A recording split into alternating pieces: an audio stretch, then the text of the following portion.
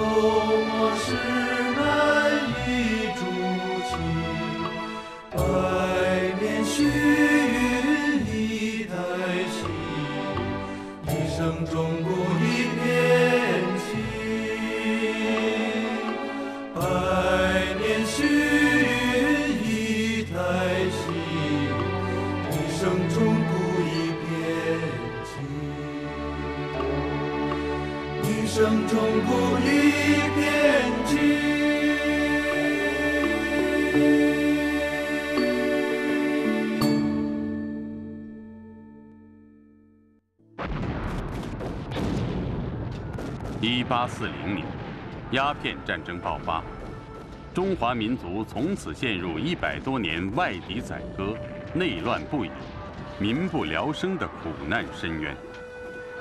百年的沧桑历史，造就了百年难遇的一代高僧虚云。虚云长老是中国近代的禅门泰斗，他出生于1840年，世寿120岁。历经五帝四朝，受尽九磨十难，其曲折坎坷而富于传奇的一生，是中国近代百年沧桑历史的真实写照。虚云长老十九岁出家，在长达一百零一年的佛门生涯里，他一钵千家饭，孤身万里游，行人之所难行，忍人之所难忍。他一身肩挑禅宗五脉，心艰行苦，悲悯苍生，展示了一个禅行者无私无畏、无欲无求的高尚情操。在一个风雨交加的夜晚，福建泉州知府萧玉堂的夫人分娩，不料生下了一个肉团。夫人惊吓而死，萧玉堂悲怒，命人丢弃。正欲一老药翁收下此婴，用刀拨开包衣，这就是本片的主人翁虚云。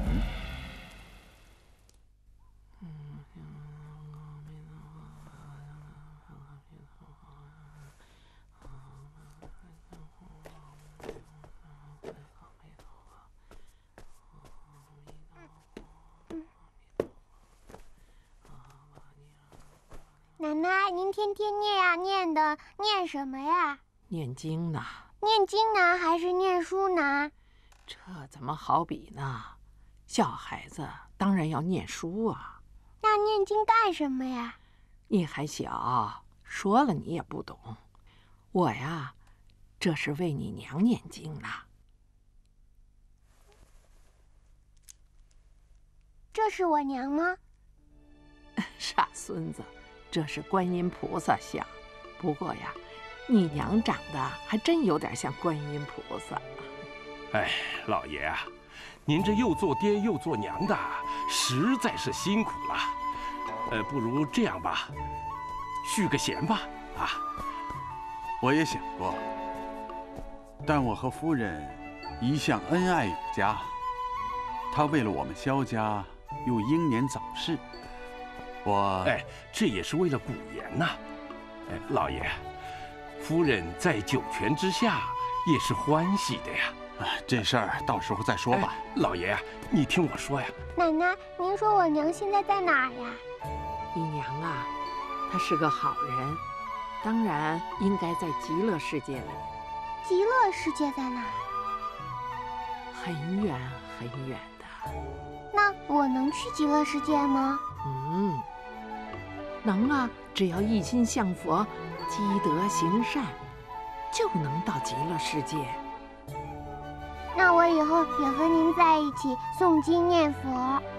那不行，你还小，要好好念书，将来呀，要考举人，考进士，中状元。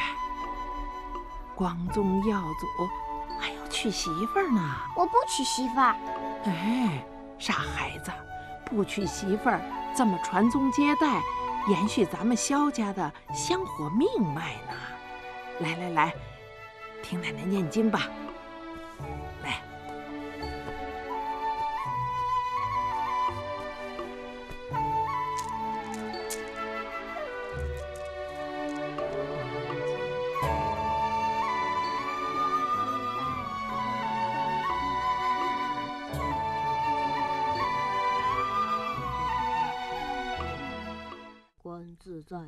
萨行深般若波罗蜜多时，照见五蕴皆空，度一切苦厄。舍利子，色不异空，空不异色。呃，老爷啊，又为少爷的事在担心吧？来，您要当心身体呀。古言这孩子越来越沉默寡言了，又不爱和别的孩子在一块玩儿，我担心呐。哎，前两天不是从湖南老家老爷接来了一个小男孩来了吗？是我弟弟的儿子，叫富国，但听说顽皮的很。山村里的孩子嘛，我接他来就是要陪古言一起玩，一起念书，这样也许能使古言变得快乐一些。老爷为公子，那真是煞费苦心呐。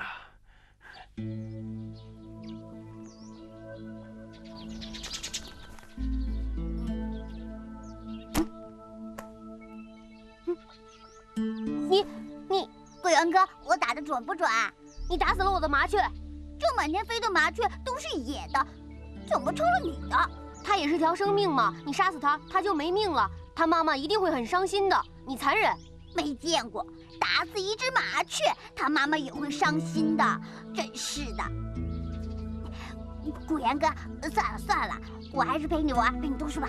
我不要你陪。呃，顾言哥，顾言哥，等等我，我以后再也不杀你的麻雀，是你自己跟着我的，可不是我赖着你，知道吗？我不跟着你也没有别的地方去嘛。你要跟着我，就得答应我几个条件。好，那你除了打麻雀，还喜欢干什么？我喜欢呃上树掏鸟窝。以后不许你再掏鸟窝了。还喜欢干什么？还喜欢下河摸鱼。以后也不准许你再摸鱼了。还喜欢干什么？我还喜欢睡觉。也不许啊，这个不算。那你喜欢读书吗？不喜欢，我喜欢逃学。我也是，我也喜欢逃学，可是我一次都没逃过。走吧，跟我上学去。好。会不会使棍弄枪？不会，我只会玩弹弓。那都是小孩玩的玩意儿，哪能上阵杀敌呀？看我的！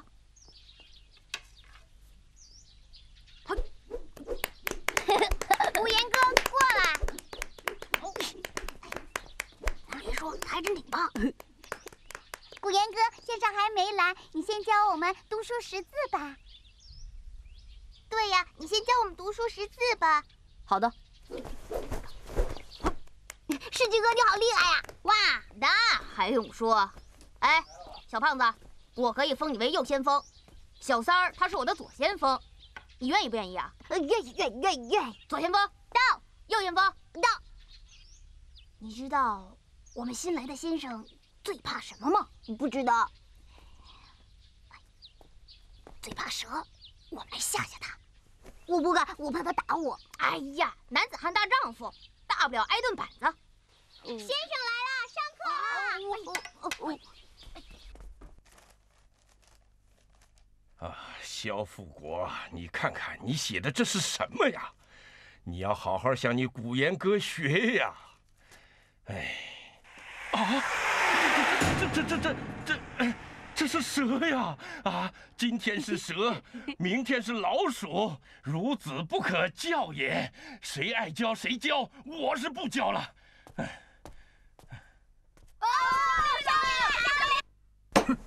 有本事啊！你们，你们居然把先生都气跑了！富光，是不是你干的好事？不是不是不是，古言，你这个孩子一向都是讲实话的，告诉我，是怎么回事？学堂里无端的跑出了一条蛇，先生呢是最怕蛇的，所以他就丢下我们跑了。哦，对对对，先生他就怕蛇，所以就丢下我们跑了。一派胡言！学堂里怎么会有蛇四处乱跑？就是有蛇嘛，分明是狡辩。肖富国，你给我听着，我看在你父亲的份上，饶你这一次。如果你再扰乱学堂，影响古言读书，我绝不轻饶你。啊，是是是，啊是是是。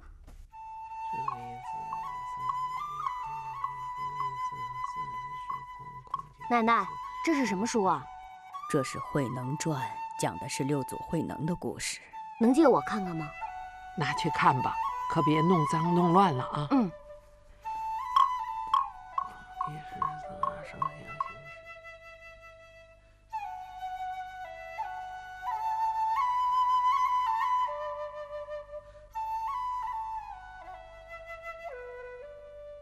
富国富国，啊，听说啊，今天又来了个新老师，我们再拿蛇吓吓他好吗？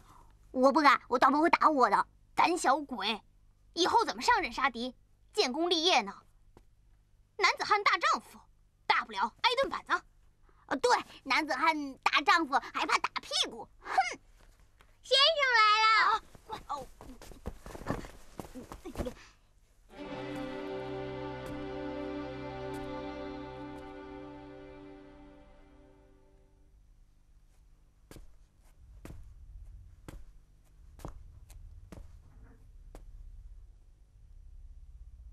见了先生，还不鞠躬？先生好，先生好。坐下。听说你们很厉害，已经气走了两个先生了。如果你们把我也给气走了，这泉州城里恐怕就没有人能够教你们了。现在。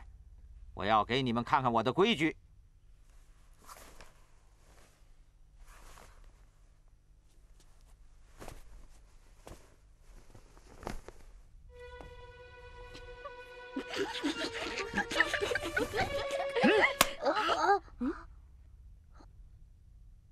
还有什么招没有啊？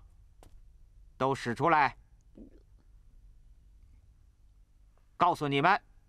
我是闹学堂的祖师爷，你们也不打听打听，这泉州城里谁不知道我王半仙儿？没招了吧？没招了，那就听我的。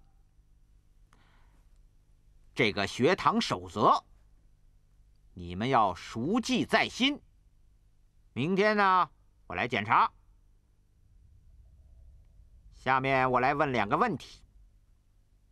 如果你们答对了，今天上午可以到院子里去玩了。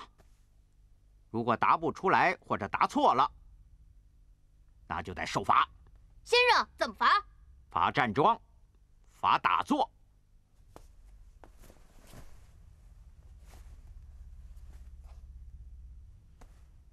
你们看清楚了，绵绵阴雨二人行。怎奈天不临一人？如何解释啊？我知道，因为有一个人带着雨伞。错。呃，错。去院子里站桩去。嗨，这还不简单？不临一人，因为一个人走在雨中，另外一个人走在屋檐下。错了。没错啊。去。拿把椅子，到外面打坐去。轮到你了，小古言。先生，我认为他们都想歪了，钻牛角尖了。其实很简单，不淋一人。就是两个人都在淋雨啊！哟呵，你悟性挺高嘛！姐，这是学堂，小点声。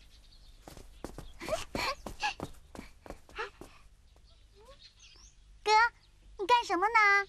练功呢。是不是先生又罚你了？去去去，小丫头，动什么？那古言哥呢？在课堂里等着受罚呢。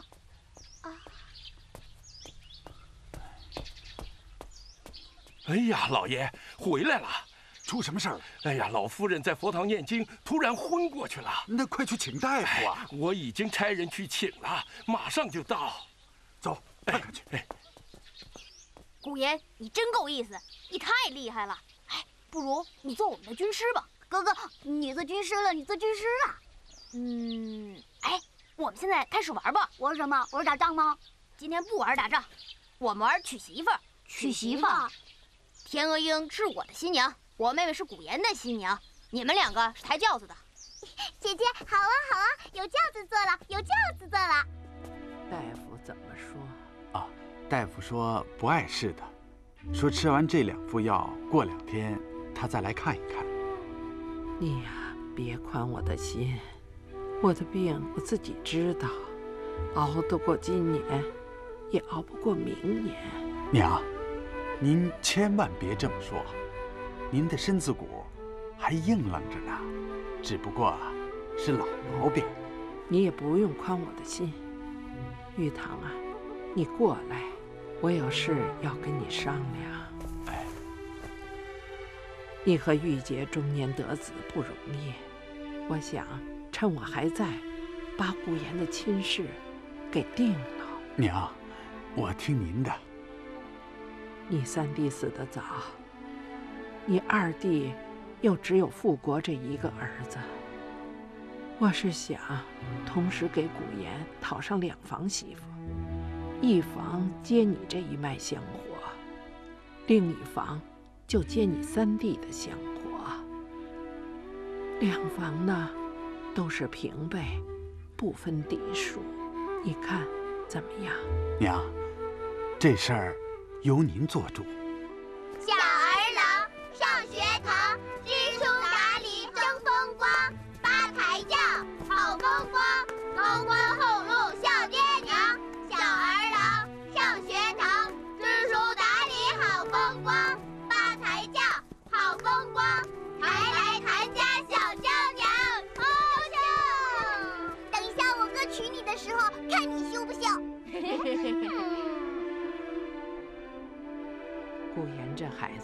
从小善良、慈悲心重，可能是受我的影响，对佛经故事一听就入迷。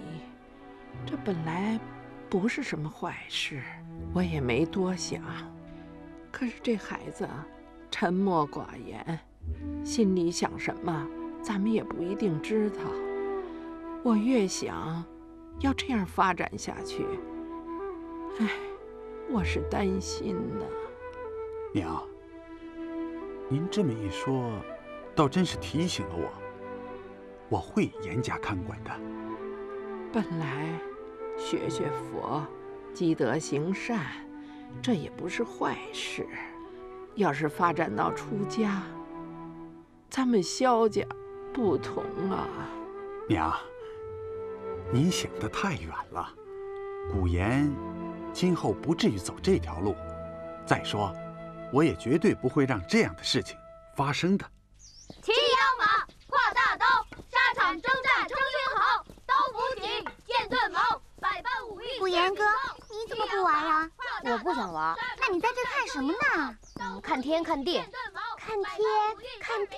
这里面能看什么天，看什么地呀？看天看地得到山里去。喂！小和尚，想打架想打架，就是。没时间。小和尚，你想到哪里去？脚到哪里，我到哪里。这什么意思啊？不知道。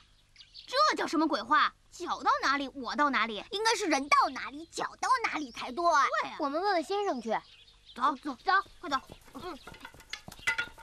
脚到哪里，我到哪里。哎，就是。有了。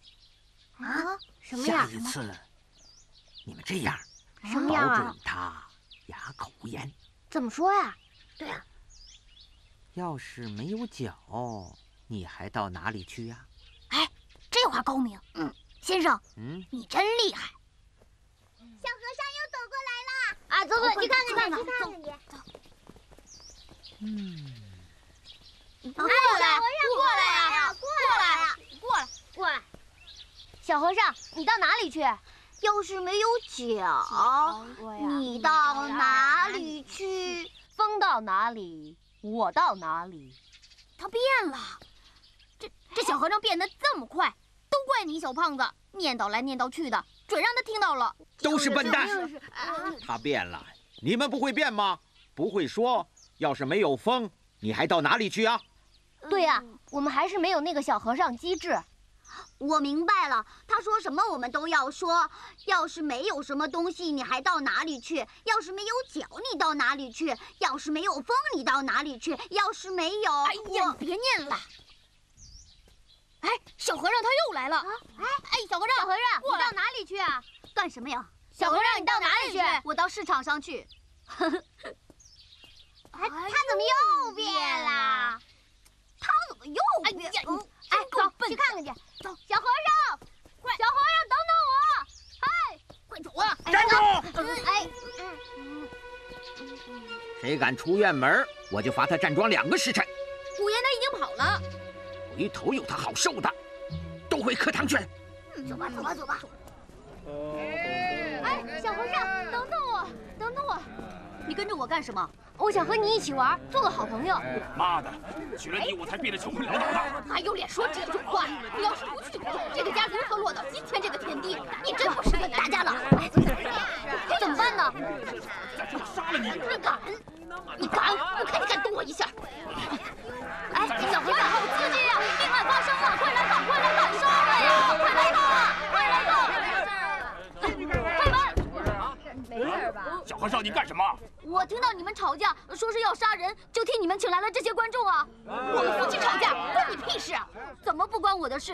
死了人就要和尚念经啊！和尚念了经就有红包收嘛！小和尚，你太过分了！哼，为了收红包想看杀人？是啊，我们只是夫妻吵架，谁说要杀人了？对呀，关你屁事！不杀人也可以呀，那就听我小和尚说法吧。借口？你会说什么法？再厚的寒冰，太阳出来都会融化；再冷的饭菜，柴火点燃都会煮热。十年修得同船渡，百年修得共枕眠。夫妻是为了恩爱才走到一起的，不是为了找一个人吵架才结婚的。所以要体谅对方，温暖对方，成就对方，而不是互相攻击、谩骂对方。我讲完了，该买菜去了。这个小和尚还一套一套。他说的有道理，我该做饭去了。我我挑水去。哎，小和尚，你怎么说的那么好？我哪会呀？不过是照搬师傅说过的话，再说多了就露馅了。你师傅是谁啊？我师傅就是我师傅嘛。那你们住在哪个庙？很远的，在江西。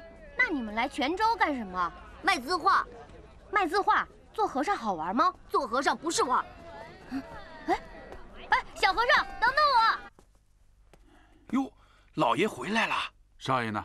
呃，他在书房里读书呢。去把他给我叫来。哎，啊，等一等。你说他在读书啊？一回来就抱着一本书，到现在还没放下来呢。我过去看看。哎哎，是。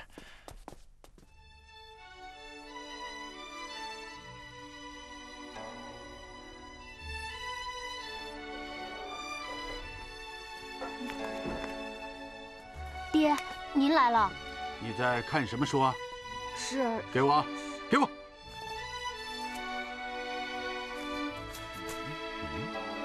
慧能传》，这是什么书啊？我怎么没听说过？是讲六祖慧能的。你不好好的读四书五经，还看这些没用的闲书？哼！爹，您把它弄脏了。弄脏了？我还要撕了它呢！爹，您撕了它也没用，我已经背下来了。不信您听听，六祖慧能的父亲原籍范阳，因得罪朝廷，被流放到岭南，成为成为一介平民。不久，父亲病逝，一下孤儿寡母，过着艰难困苦的日子。住嘴！你这个孽子，靠卖柴来维，靠卖柴来维持生计。有一天。有一天，我叫你背老爷，老爷，你这是干什么呀？放开我！今天我要打死他！老爷，孽子！有一天，慧能到集市上卖柴，看到一位客人在读诵佛经。他一听那客人所诵的经句，心里就豁然开朗。这是何必呢？少爷长这么大了，您还没动过他一手指头呢。嗯，这个孽子。没想到他这么倔强。下午，王半仙来告他的状，说他跟一个小和尚跑出去半天，没有回来。我本来就一肚子火，你打他，他居然不哭不叫，还一个劲儿的背书，这不是要气死我吗？说真的，老爷今天下手真够狠的，这板子打在少爷的身上。可疼在您老爷的心上啊！你去看一看，这个孽子，我想打他吗？是他逼我的。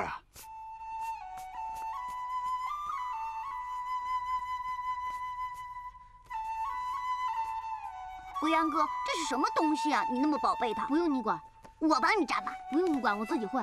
少爷，啊，你爹可是一向心疼你的呀。呃，刚才只是一时急昏了头，呃，你可不要怨恨你爹呀，啊！我没有怨恨他。啊，这就好，这就好啊。呃，对了，老夫人叫您过去呢，啊，快来到奶奶这儿来，让奶奶看看，打疼了吧？不疼。看看，多懂事的孩子，你还忍心打他？言儿，嗯，可别惹你爹生气了啊！我没惹爹生气，奶奶，这是您的书，还给您。就为就为这本书啊！我从奶奶那儿拿书的时候，奶奶叮嘱我不要把书弄脏弄乱了。爹爹把书扔到地上，而且还把它撕掉了，所以我就……言儿。爹，错怪你了。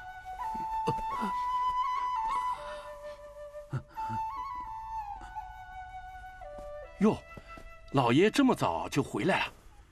哎，这碗饭不好吃啊。呃，怎么了？林则徐林大人禁烟失败，朝廷为了讨好洋人，把他贬到了新疆。如今这沿海……差不多被洋人操纵了，鸦片源源不断的涌进来，地方官吏、烟贩子相互勾结，我这个芝麻官儿不好当啊，眼不见为净。是。哎，不说这些了，刚才王半仙找到我。哦，公子又有什么事儿了？是倒没有，读书嘛，这孩子没问题，就是说。他跟谁都不合群儿，偏偏和一个外来的小和尚如胶似漆的粘在一起。你说这孩子怎么这么怪呀？有没有什么办法改变一下？哦，公子愿意和小和尚一起玩，证明他喜欢和尚。能不能想个办法改变一下他的印象呢？怎么改变？啊？我听说呀，这小和尚的师傅啊，出家之前是个画家，这次到咱们泉州城来摆摊画画呀，替人家画上一幅画，要收取报酬，而且要价很高啊。呃，佛家不是说四大皆空吗？这和尚出了家，还这么贪财，这恐怕不妥吧？说明他烦心未了。你是说让古言通过这个和尚，对出家人产生恶感？对呀，不如把他请到府上来，当着公子的面羞辱他一场。哎，这倒是个办法。奶奶，人为什么会死？人老了都会死的。人死很痛苦吗？奶奶还没死，怎么知道呢？人死了会到哪里去？唉，尘归尘，土归土。你奶奶我呀，这一辈子啊，一直都是积德行善，总该有个好结果吧。奶奶，您要是死了以后，能见到我娘吗？老太太，啊，老太太，少爷，老爷请您到堂屋里去一下啊。嗯。哎，是你，小和尚，你怎么到这儿来了？你们家的房子好气派啊，比你们庙里的好吧？那不能比，我们住在山里的茅草棚里。啊，请。嗯。好。这位是王先生，泉州城里有名的饱学之士，人称王半仙。这位是悟禅法师，从前是个画家。久仰久仰，阿弥陀佛。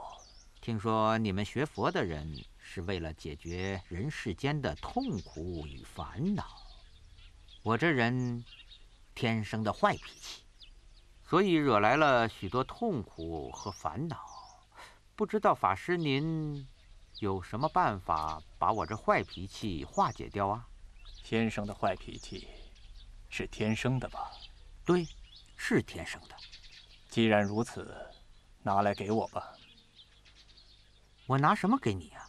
把你天生的坏脾气拿出来给我，让我帮你化解掉。哈哈，笑话。这坏脾气怎么能拿得出来啊？如果不是想就能拿得出来的东西，那它就不是天生的，而是唯心所造。对人发脾气，其实是把自己的不快或是过错归罪他人而已。而所谓天生的，只不过就是为自己找一个开脱的借口。而且，算了算了，不说这些了。哎，听说法师是个有修行的人，不知道有没有降妖除魔的本事啊？如果真有妖魔，贫僧就能降服。好，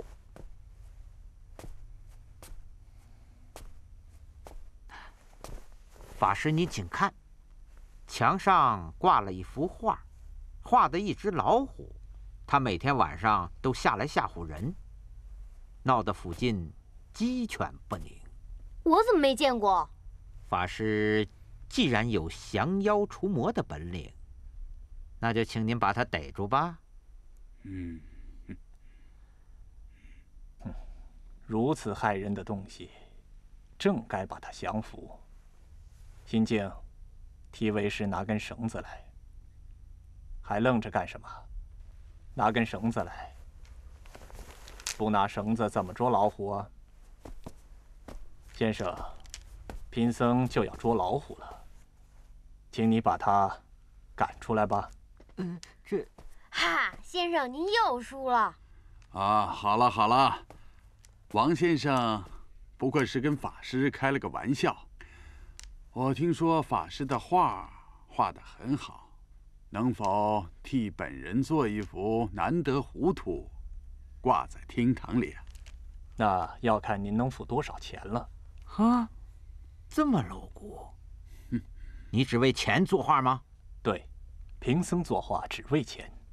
你们佛家不是讲四大皆空吗？你怎么这么贪财啊？空并不是无啊。哼，这太悬了。你打算要多少钱？五两银子。好，那你画吧。小和尚，你师傅画的真好啊！古言啊，你过来。爹，这如今的出家人呐，嘴上说空，骨子里六根不净，这跟红尘世间有什么两样啊？施主，画，画好了。画好了。老荣头，哎，拿钱来。来喽。给钱。哎，给你。嗯，这画虽不错，但看上去不干净啊。出于这样一幅心灵贪婪的作品，是不易挂在厅堂里的。哼，它只能装饰我的一只靴子。你能在我的靴子上再画一幅吗？可以，但你准备付多少银两？你要多少，我就给多少。十两，不贵，是黄金。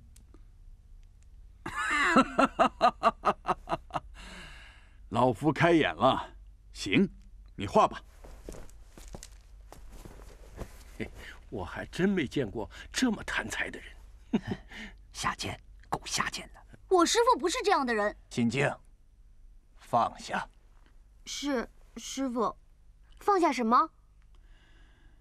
贪恋酒色财气，是人的通病。连和尚都放不下喽。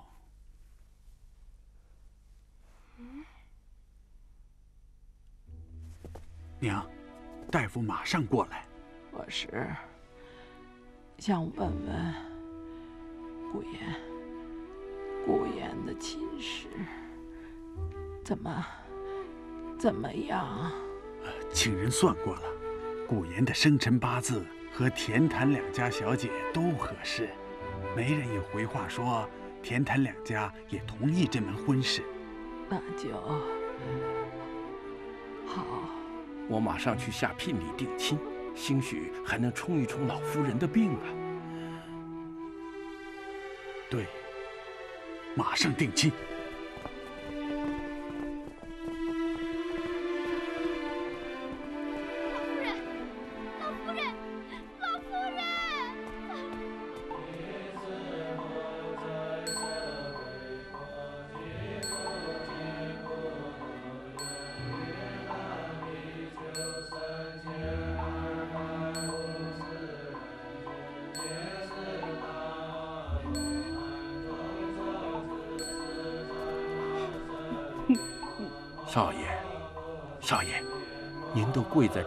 天一宿了，也该回去歇歇了呀！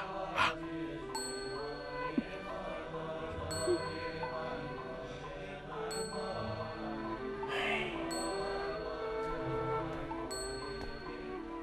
无言哥，你真的要走了？嗯。那你什么时候再回来呀？不知道。你走了以后，就没人教我们读书了。哦，喏，这本书送给你的，以后你们自己读吧。哎，你这一走啊，我少了一个军师和一个先锋，以后学堂的日子不好过。你们看，小和尚来了！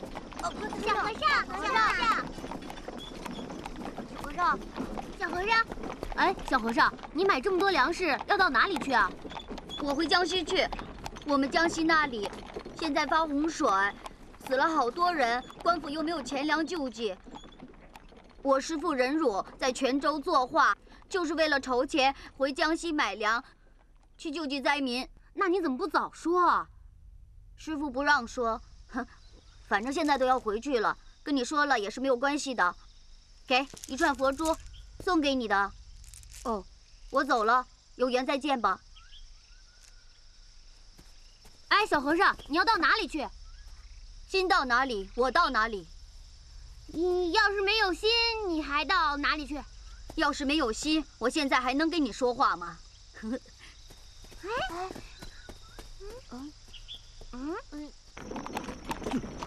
真的，我真看见了。那天我就说你不应该拿那个虫子去闹它。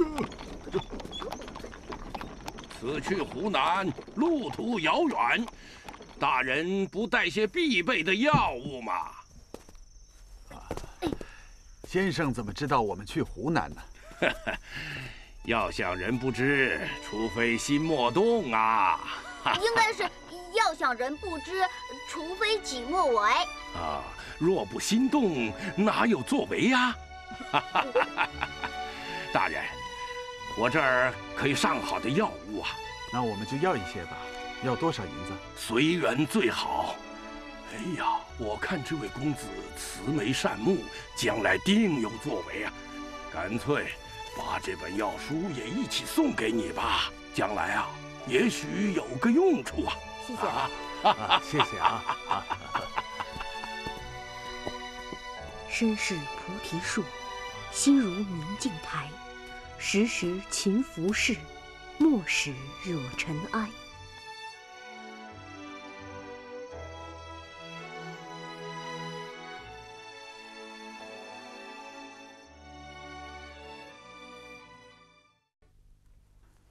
咸丰二年，萧玉堂丁忧守制，古言随父亲送祖母及生母灵骨回湖南安葬，直到十七岁时才回到泉州。而这时的古言已经萌生了离尘出家的念头。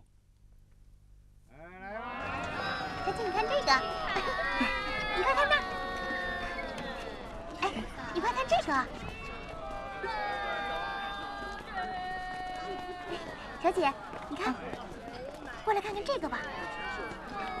哎，你看，嗯，真好。哎，这小娘子长得够水灵的啊！走啊，快干！哎，等会儿，哎，老大，哎，你干什么？你想干什么？多林子的鸟跑这管闲事儿来你？你想怎么样？世杰哥，算了，走吧。哎，走，哪能说走就走啊？哎，看了看了，乌来戏美人，人贩子拐姑娘，光天化日之下，好不要脸啦！再说我打了你的臭嘴！哎，打呀，打呀，打！怎么打？打打打一个三个钱，对，缴五个钱，知道吗？打呀，打呀，打呀！听到了啊？打一拳三个钱，踢一脚五个钱。小子，实话跟你说吧，在这泉州城里。我从三岁混起，从没有闪失过。我今天就让你闪失闪失！哎，世杰哥，算了，这种人不值得。走，我们走。这可奇怪了，怎么不打了？我在这泉州城里从三岁混起，我还没有见过到火候还不动手的主。哎，我说臭娘们儿，你干嘛拦着他呀？你这不是诚心坏你大爷我的好事吗？你还让不让人吃饭了？啊，就是打，让不让了？快快打！我就是打！你这种无赖，打呀！走开！哎，我们走。哎，别走啊！别急着跟野汉子跑啊！哎呦哎呦哎呦哎呦！你刚才不是说了吗？打一拳三个钱，踢脚五个钱，一共八个钱。找你八辈祖宗要去吧。走，小六子。哎哎，大哥，哎哎，大哥大哥，都不是都打了我了。哎呀，哎，大哥这好事儿啊，咱可以收他钱呢。哎呦，可没给钱他就走了。啊，小五子，打听他住址去。哎，今天多亏你了，谢谢你啊。哼，你怎么会说这种话呢？都是些臭无赖吗？他们这些人啊，别跟他们一般见识。世奇哥，我已经到了，谢谢你啊。哈，呃，我想天天看见你。你又说糊涂话了。哎，今年的秋试你还参加吗？哎，我对科举根本就没有兴趣。我爹已替我安排好，先到湘军曾国藩旗下供职两年，然后出去学习洋务。哦。可是我实在是舍不得离开你。啊。